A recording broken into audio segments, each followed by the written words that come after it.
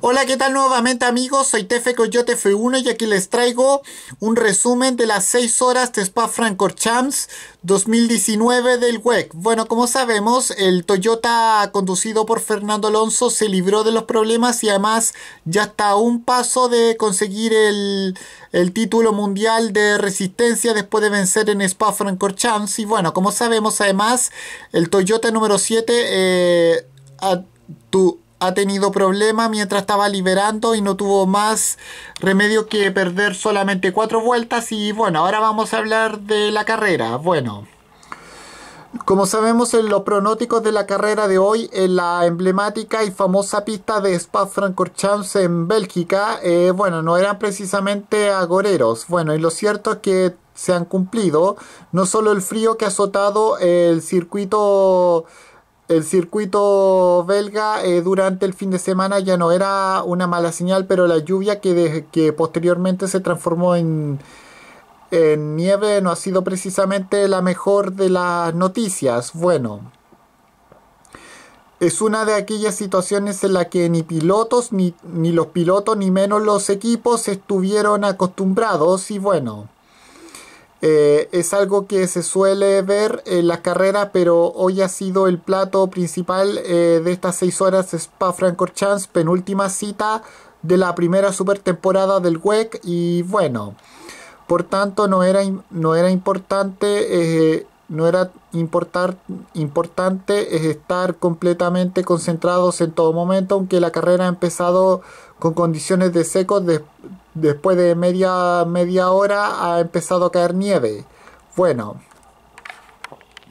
como sabemos, eh, la dirección de carrera no estaba dispuesta a tener sorpresas y nada más ver cómo iban cayendo los copos de nieve. Se sacó a la pista el auto de seguridad para controlar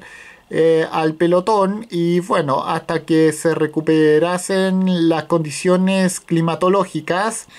es decir, hasta que dejase caer la nieve, al final eh, aquella bandera de situación haría que no se relanzase la carrera hasta que se hubiese cumplido una primera hora de, de carrera en la que eh, básicamente no ha sucedido prácticamente nada. Bueno, luego llegarían las situaciones en las que autos de distintas categorías eh, ensazarían en, ensarzarían en doblajes, bueno, los cuales algunos acabarían con contactos que harían que hubiese impacto contra el muro. Bueno, sin embargo, el plato fuerte llegaría a mitad de carrera, donde el Toyota número 7 del japonés Kamui Kobayashi, el cordobés José María Pechito López y el británico Mike Conway tenían problemas, por lo que, bueno, por lo que tuvieron que hacer una inesperada visita a los boxes para solucionar un error con un sensor del sistema híbrido del auto y perdió cuatro vueltas en relación con el auto que estaba pilotando Fernando Alonso en esos momentos. Bueno, como suele ser habitual en la carrera del WEC, la emoción en la pista estuvo reservada para las categorías GT y bueno, donde suele haber mucha pelea en la pista eh, y, en estas 6 horas de spa ha sucedido de nuevo, pero los radares de los equipos alertaban de las situaciones de lluvia y nieve de nuevo para la segunda mitad de carrera. Y bueno, y bueno, eso es lo que fue y a falta de una hora y 40 minutos volvió el líquido elemento con el que la nieve dejando la pista en una situación extremadamente delicada, con lo que el auto seguridad tuvo que volver y bueno, eh, y se mantuvo en el trazado durante media hora. Después se relanzaría la carrera, pero una vez a falta de 40 minutos para la conclusión de la, de la carrera, volvió a aparecer la nieve. De nuevo fue necesario el auto seguridad.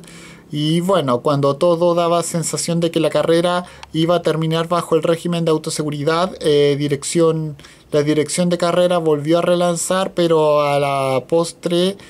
eh, se vieron obligados a mostrar la bandera roja final a falta de 10 minutos, permitiéndose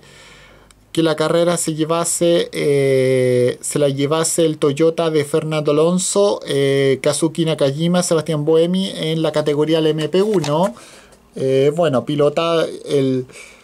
el Dragon Speed 31 pilotado por Pastor Maldonado en el MP2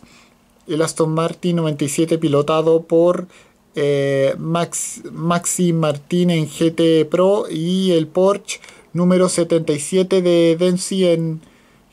GTAM. Y bueno, eso, esa ha sido la carrera del WEC en las 6 horas de Spy. Con esto me despido, nos vemos, adiós, que fuera, chao.